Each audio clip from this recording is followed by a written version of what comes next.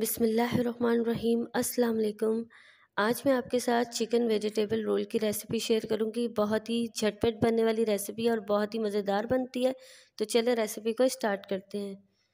सबसे पहले एक कढ़ाई के अंदर मैं शामिल करूँगी two tablespoon cooking oil. Cooking oil आपने ज़्यादा शामिल नहीं करना। उसके अंदर मैं शामिल करूँगी एक खाने का चम्मच अदरक लहसुन का पेस्ट और अदरक लहसुन के पेस्ट को एक मिनट तक तेल के अंदर भूनेंगे। जब अदरक लहसुन भून जाएगा तो इसके अंदर मैं बॉयल शेडेड चिकन शामिल कर दूँगी। तकरीबन दो कप के करीब है। मैंने एक ब्रेस्ट का पीस लेकर उसको अदरक, लहसुन और नमक और पानी डाल के बॉयल कर लिया था और बाद में इसको साथ श्रेडिट कर लिया। चिकन को अदरक, लहसुन के साथ फ्राई कर लिया है। अब इसके अंदर वेजिटेबल शामिल करेंगे। एक बड़े साइज़ की शिमला मिर्च लेकर उसको मैंने जूलियन कटिंग कर लिया है और यहाँ पे मैंने बंद गोभी भी ली थी एक दरमियाने साइज़ की। बंद गोभी को भी शेडिट करके मैंने शामिल कर दिया है। और अब इसे अच्छे से मिक्स कर लेंगे। अब इसमें स्पाइसी शामिल करेंगे, नमक शामिल करेंगे एक खाने का चम्मच। कुटी हुई लाल मिर्च एक खाने का चम्मच। पिसी हुई काली मिर्च एक खाने का चम्मच। अब इसके अंदर सॉसेस शामिल करेंगे, सबसे पहले मैं शामिल करूँगी सोया सॉस दो खाने के चम्मच। चिल्ली सॉस भी शामिल करेंगे, दो खाने के चम्मच। और अब मैं शामिल करूँगी इसमें सिरका एक खाने का चम्मच। तो तमाम सॉसेस शामिल कर दिए हैं और अब इसको अच्छे से मिक्स करेंगे।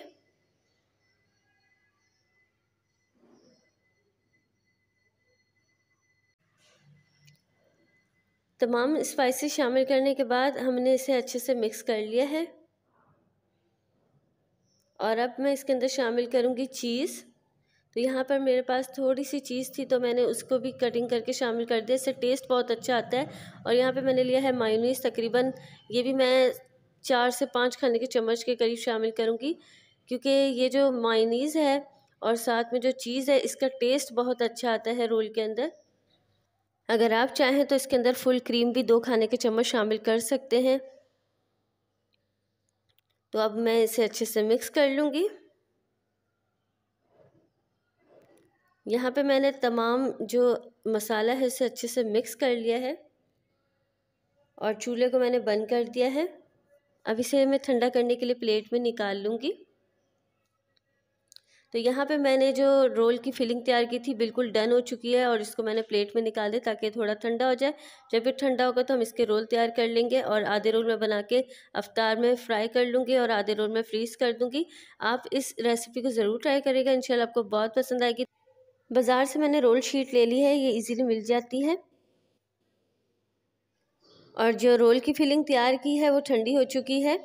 अब इसे मैं स्पून की मदद से ऐड करूँगी। अच्छा स्टफिंग जो है, आप अपनी मर्ज़ी से ऐड कर सकते हैं, कम या ज़्यादा जितनी आपको पसंद हो, पर मैं एक पट्टी के हिसाब से शामिल करूँगी ताकि वो आराम से इसका रोल बन जाए। तो ये देखें मैंने शामिल करने के बाद साइडों से इसे फोल्ड किया है। और अब हम इसको टाइट करके इस तरह बंद कर लेंगे। बहुत ही इजीली ये रोल बन जाते हैं। अब मैंने यहाँ पे एक मैदे की लई तैयार की हुई है, उसको मैं ब्रश की मदद से साइड पे लगा दूँगी। और इसी तरह मैं तमाम रोल तैयार कर लूँगी।